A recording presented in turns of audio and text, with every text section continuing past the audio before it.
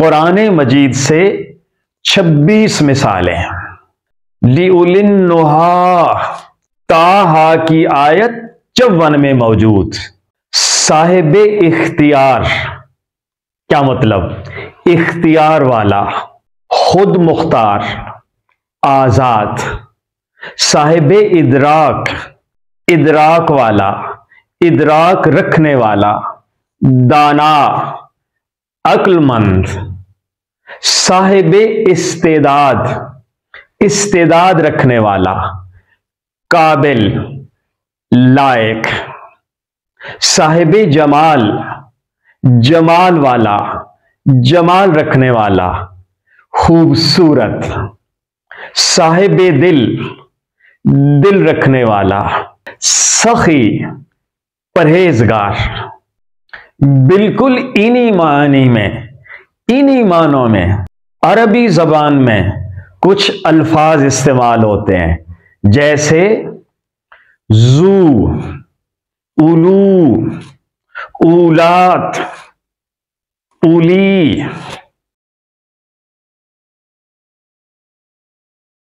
Third point अलकिसासु। क्या मतलब? जुर्म का बदला। कुरान मजीद से तीन मिसालें वलकुम व और। लकुम तुम्हारे लिए।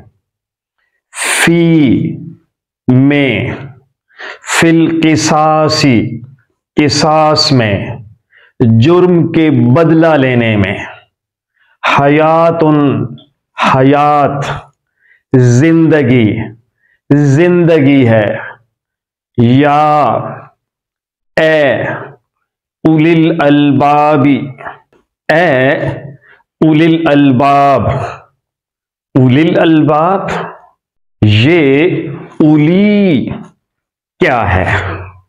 उर्दू जबान बोलने वाले अपनी गुफ्तगु में कुछ इस तरह के अल्फाज अक्सर इस्तेमाल करते हैं, जैसे साहेब इख्तियार। क्या मतलब? इख्तियार वाला, खुद मुख्तार, आज़ाद। साहिब इदराक इदराक वाला, इदराक रखने वाला, दाना, अक्लमंद।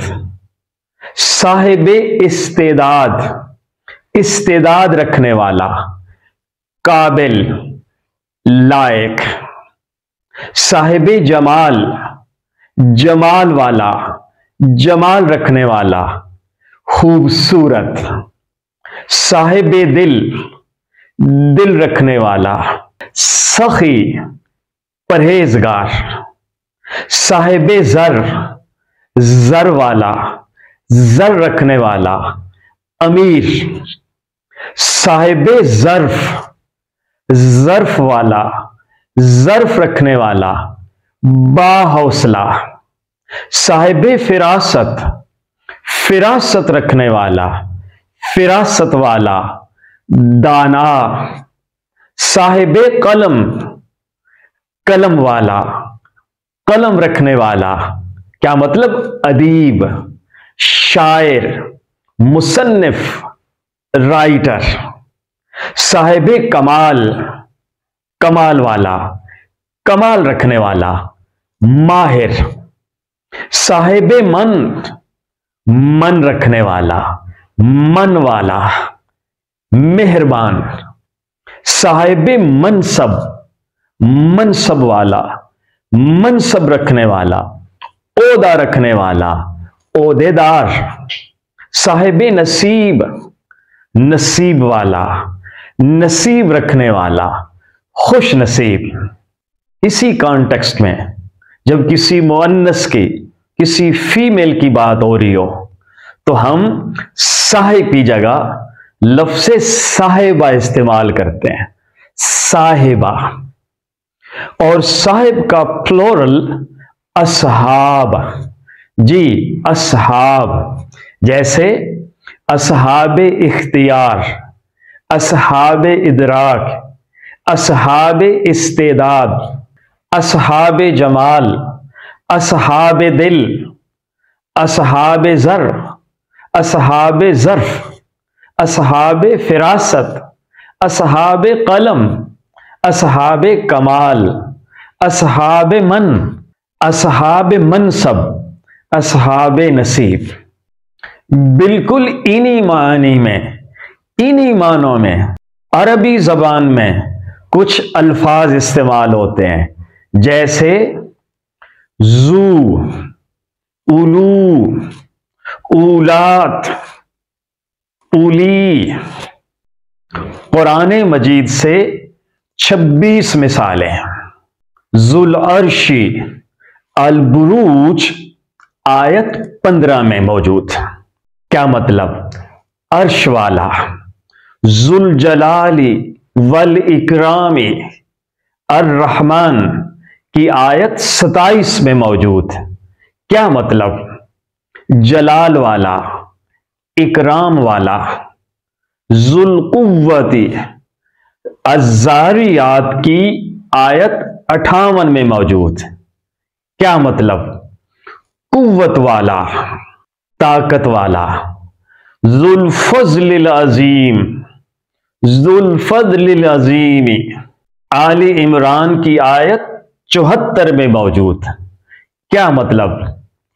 फजल वाला, फजल अजीम वाला, बहुत बड़े फजल वाला। वल हब्बू जुलफी अर्रहमान की आयत बारह में मौजूद। क्या मतलब? व और अलहब्बू दाना। अनाज वलहब्बू और दाना, कौन सा? जुल असफी, असफ वाला, भूसे वाला। जू हजिन अजीम हामीम असजदा की, आयत पैंतीस में मौजूद। क्या मतलब? हजिन नसीब। हजिन अजीम अजीम नसीब। बड़ा नसीब, बड़े नसीब वाला, जुल अवतादी साद की आयत बारह में मौजूद। अवताद अलवतदु का फ्लोरल अलवतदु का फ्लोरल क्या मतलब? मेख जी मेख जुल अवतादी मेखों वाला। जुनतिकामिन, इब्राहिम, आयत सैतालीस में मौजूद। क्या मतलब? इंतकाम वाला, इंतकाम लेने वाला। जुर्रहमती, अलकहफ की आयत अठावन में मौजूद। क्या मतलब?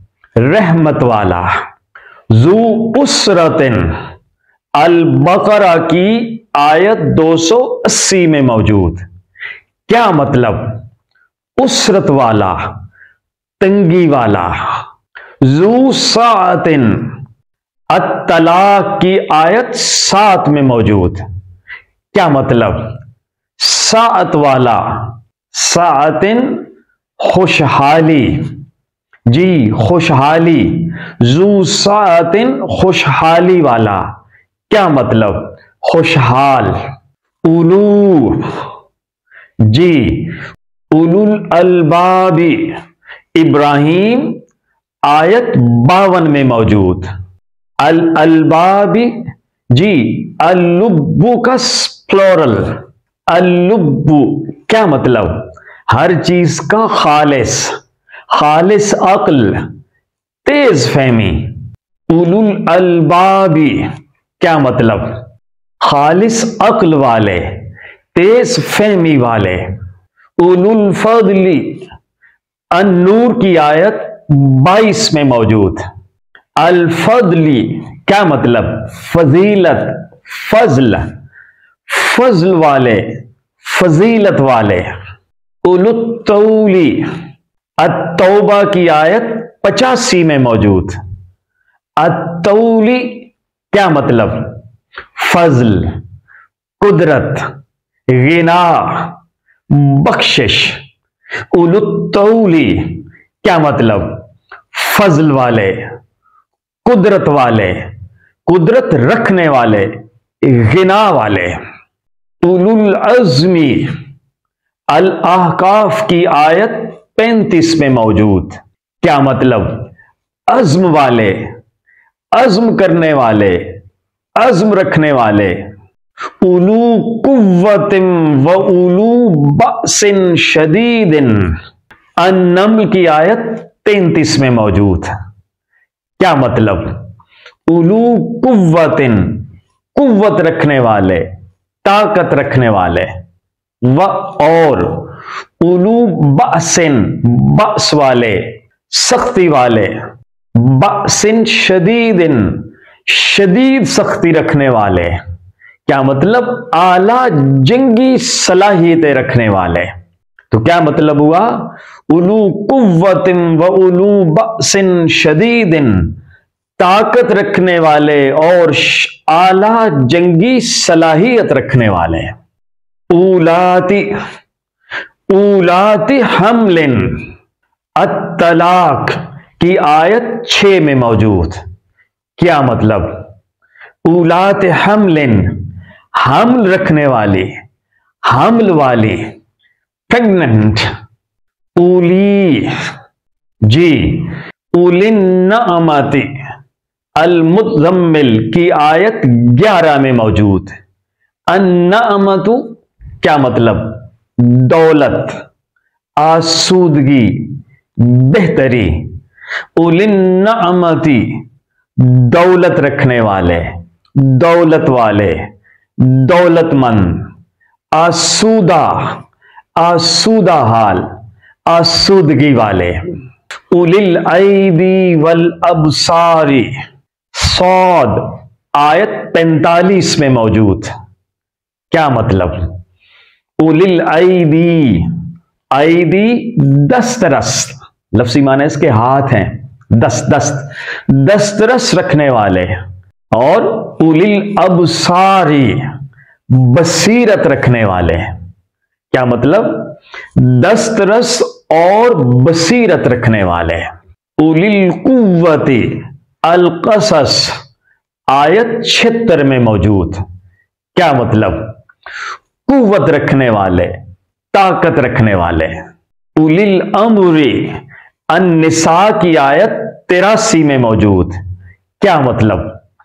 उलिल अमरी, अमर वाले, हुक्म रखने वाले, इकतदार रखने वाले, जिनके पास मुल्क का इकतदार हो, उमूर ममलकत चलाने वाले। उलिल इरबती अनूर की आयत इकतीस में मौजूद। अल इरबती क्या मतलब? चालाकी हीला, उलिल इरबती चालाकी वाले, चालाक, हीला करने वाले, हीला रखने वाले। उली कुर्बा अतौबा की आयत 112 में मौजूद। कुर्बा, कुर्बतुन, कराबतुन, क्या मतलब? रिश्तेदारी, कराबतदारी। उली कुर्बा। क्या मतलब? रिश्तेदारी वाले कराबतदारी वाले, यानी रिश्तेदार, कराबतदार। लिउलिन्नुहा ताहा की आयत चौवन में मौजूद। लिउलिन्नुहा ली के लिए। उलिन्नुहा नुहा, ये फ्लोरल है। इसका मतलब अक्ल, क्या मतलब? अक्ल वाले, अक्लमंद, आइए, लौटते हैं अपने थर्ड पॉइंट यानी अल किसास को लेकर तीन कुरानी मिसालों की तरफ़। वलकुम फिल किसास हयातुन, और तुम्हारे लिए जुर्म का बदला लेने में ज़िंदगी है, हयात है। या उलिल अलबाबी, ए अक्ल रखने वालों लकुम ताकि तुम तत्तून मुत्तकी बन जाओ, परहेजगार बन जाओ, बचो, तकवा अख्तियार करो, बचे रहो। अल बकरा, आयत 179 कॉन्टेक्चुअल मीनिंग और तुम्हारे लिए किसास में ज़िंदगी है। अक्ल वालो, ताकि तुम वदूद इलाई की पाबंदी करते रहो। दूसरी मिसाल।